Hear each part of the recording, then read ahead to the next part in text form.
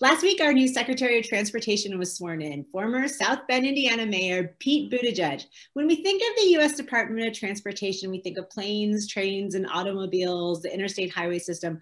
What can USDOT do when it comes to local transportation at the city level, especially in a place like New York City? Well, that's exactly the right question, right? Because local government is actually where the need is in transportation. So transportation is now the biggest contributor to greenhouse gas emissions, but the biggest chunk of that is private cars. And you know, similarly, when you think about transportation inequity or inequality, so much of it is about people who can't get what they need in their own neighborhood, in their own city, in their own region. So it's really like transportation is this national issue, but it's also like millions of local issues that we have to address. And so the DOT could do things like rewrite standards on road design so that we're not, you know, baking in car dependency into the street. It can rewrite grant programs so that the investments it funds are more about connecting people to places. Um, and, you know, we actually have to start requiring, you know, cities and states to measure things like transportation greenhouse gases, what you can reach on the public transportation system, safety. Let's like the federal transportation program has always been about building things and not about why we are building those things. So USDOT can change that. One of the things that I think is really exciting is not just that uh, Secretary Pete is a mayor or that the number two official is Polly Trottenberg from New York. There's so many people with local backgrounds, people who have lowered the speed limit in their cities, who've changed public process. That's a really new perspective at the DOT. When you're talking about something like these policy changes, uh, one thing I keep hearing about is something called the 80-20 rule. Can you explain what that is and how that could be really transformative?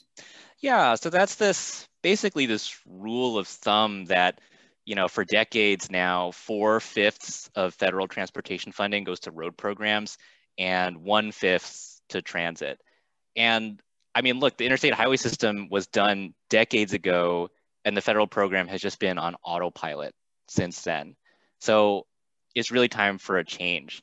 And if we were to change that, if you were just to raise up transit funding up to where roadways are, like that actually means you're quadrupling transit funding. And that gives you the power to do things like expand bus service across the country, to fix this $100 billion repair backlog that big city transit agencies have, uh, and to build a whole lot more transit in cities and towns that deserve it and don't have it.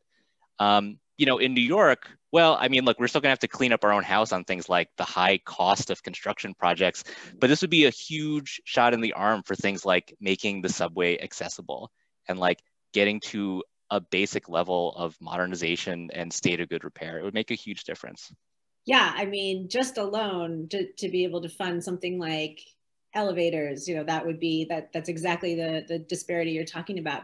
You've written an amazing book, Better Buses, Better Cities, about the importance of buses, not just as a climate solution, as a tool to help move people around affordably, safely, all, everything we've been talking about today. Um, the 14th Street Busway, for example, in New York is one of the best success stories, I feel like. So what could US DOT, which again, we're doing that shift from infrastructure into things like service. What could, what could US DOT do to boost buses nationally? Boy, I love the 14th Street Busway as you know now the you know the Flushing busway in downtown Brooklyn. This is a trend that we've got to see in, in more places. Uh, you know, the, I think what that really tells you, almost everything that matters when it comes to bus service, it really has a low financial cost, but we don't politically prioritize it, and that's because bus improvements help marginalized people. Mm-hmm. Um, we've got to do things that provide like a basic level of dignity and effectiveness, things like bus shelters, sidewalks, schedule information, replacing car lanes with bus lanes, you know, all of this stuff is cheap. I think what DOT can do is start to try to change the political incentives around buses. You know, if um, if local officials feel like they're not going to get credit, I mean, DOT can celebrate the places that are already doing things like doing a great job of building bus shelters or redrawing bus networks. Or if you rewrite some of the grant programs, the relatively small amount of money that DOT controls can go a long way. Like there's this program called the Build program, which is really flexible program. It's about a billion dollars a year. Uh, during the Trump administration, it basically went to fund like rural highway projects. But if that was directed towards, you know, equitable growth, I mean, a billion dollars can get you hundreds and hundreds of bus projects in cities all over the place. It can really go a long way. Something else you and I have talked about before is how critical getting these operational dollars are to these local transit agencies as we start to recover from the pandemic. And cities, I think they recently just announced the next round of uh, finalized dollars for federal relief. But how do you sustain that recovery, and how do you keep funding transit as we as we exit this great time of you know horrible financial upheaval? Hmm. So the U.S. government used to provide regular funding to keep transit service running, operating support, you know, running service, not just building projects.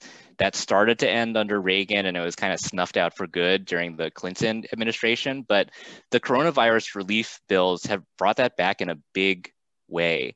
And I think, you know, we got to ask ourselves, you know, is this just going to be the sort of one time emergency funding or are we going to make it a yearly standard again? If we did that, you know, not only would we get cities through the pandemic, but we would make it possible for transit to really, you know, build itself back stronger. Um, the Urban Institute, uh, you know, think tank in DC found that uh, if you just have $17 billion a year in funding, which you can do if you have that 50-50 split, mm-hmm. you can give every region in the country the same amount of transit per capita as in the Chicago region. That's a big leap for a lot of places. You know, that would be about 40% more service than the average place. So that's, I mean, that goes a long way towards, you know, not having to plan your life around the schedule. Um, and then I think in New York, you know, we got to get congestion pricing back on track. Um, that's good public policy. I mean, not only is it going to fund transit, but it'll make the city a, a safer, more livable place yeah and and that is something that he could actually do that's something that we do need help from secretary pete to to sign that little piece of paper that, that makes mm-hmm. it possible. What else would you say are some of your priorities for Secretary Pete? Um, I think there's so much that the DOT can do to support equity in transportation planning. Look, transportation agencies are supposed to you know, they're supposed to be barred from changing service in ways that discriminate. There are all these protections that come from the Civil Rights Act of 1964, but in transportation, the regulations are basically toothless. And so we can do a lot to demand agencies do more. We have to be asking some basic questions like, how well does the transportation system get people to jobs and to parks and to grocery stores? And what is the racial access gap and what our agencies plan to close that gap. You know, that has to be the basis of planning going forward. And, it, you know, we have all the data we need to do it. If agencies actually had to target investments that way, you know, you would see a lot more transit in the US too, because it's such a big part of closing that gap and saying that actually does that everyone deserves to be able to access what they need.